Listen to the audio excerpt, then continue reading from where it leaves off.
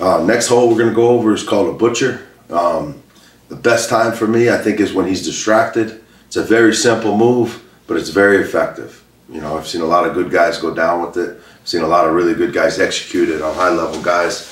And, and you see it in, at, at every level, right? You see it all the way through Bantam through International. So basically, we'll start right from where we left off with that limp arm. All right? So we spiral, we roll it over, know he's gonna limp arm, right? And may, maybe we, we, we don't feel comfortable enough to come up and, and take the half, right? Maybe we're not there yet. So all, all, all I'm gonna do is, is, is, is just, just look for a post on this side. And I'm gonna let him limp arm, right? If I have his wrist, I'm just gonna let him limp arm. And I'm gonna let it go, and I'm gonna come above the arm and, bring him over to here. Right, I wanna, I wanna pull, take his head across his, uh, my cross face to his tricep, and I wanna make sure I put them on this shoulder, and all my weight's gonna go on this shoulder. Right, now the way we teach this to, to, to our younger kids is we keep weight on that shoulder, and we make a basket. All right, we make a basket, and we circle to the head. All right, it's very effective. You see it a lot in youth wrestling. So we set it up. We'll get our bing bong legs in and we set it up with his, his limp arm. And as soon as he limp arms out, we're gonna let the arm go and come right across to the face. Put him on that shoulder. Make a basket with our hands.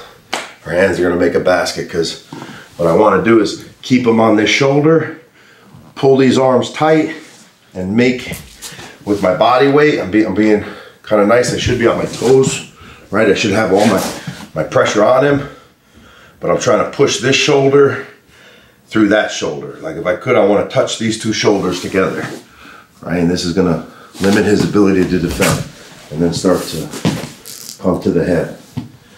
All right. These guys get older, they're a little trickier to get with this. So we have to adjust. All right, we have to adjust. So I use my leg to take him where I, I need him to go.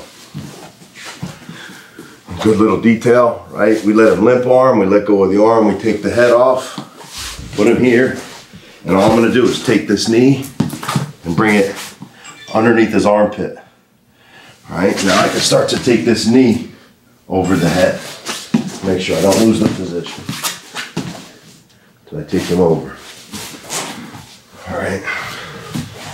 Basically, I'm throwing a half with my knee. You know, lose the one-on-one.